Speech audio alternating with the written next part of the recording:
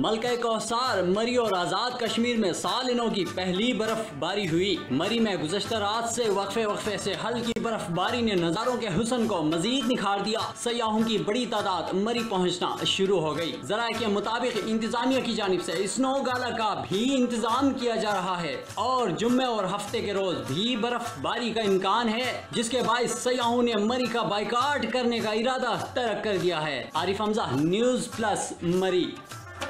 Thank you.